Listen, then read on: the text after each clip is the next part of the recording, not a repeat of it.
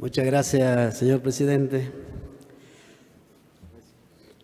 Bueno, en primer lugar, este, vamos a adherir a la mención que hiciera la senadora de San Carlos en cuanto a la realización del tercer Parlamento de Mujeres y Diversidades Indígenas por el Buen Vivir, que se va a llevar a cabo en Chicuana entre el 22 y el 25 de, de mayo, ¿no? o sea, la semana que viene.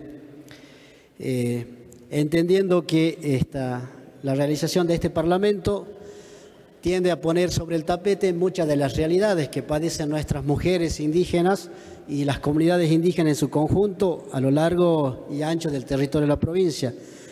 Ellas, por ejemplo, hacen mención a algunas de, sus luchas y reivindicaciones como son el terricidio.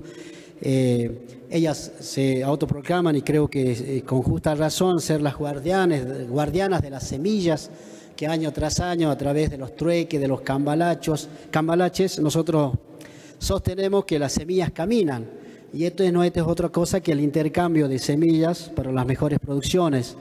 También defensoras del agua, del territorio y muchas otras reivindicaciones eh, que tienen que ver con la realidad actual que padecen eh, muchas de nuestras mujeres.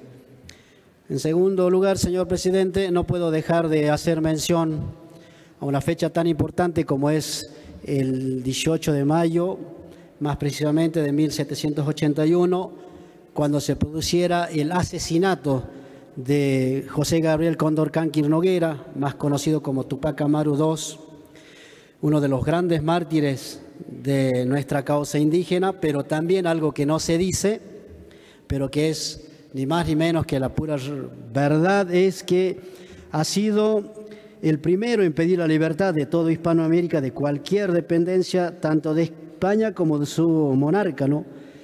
Ha sido también, entre otras cosas, en atribuciones de sus facultades, eh, eh, al ser él el este, eh, descendiente directo de la panaca del Inca, de los últimos incas de Vilcabamba, ha abolido también Eh, la esclavitud negra, por ejemplo. Entonces podríamos decir sin lugar, sin, sin temor a equivocarnos, que ha sido el precursor de la lucha de nuestra independencia de Latinoamérica. Cuando Tupac Amaru II se encontraba en plena revolución, nacían por esos tiempos otros grandes líderes que luego harían realidad el sueño de la independencia como Simón Bolívar, como José de San Martín. Este, he querido mencionar esto dejando de lado todas las otras cuestiones que te ver, sino resaltar como el primero que ha comenzado a dar los pasos en la lucha por la independencia de Latinoamérica. Muchas gracias, señor presidente.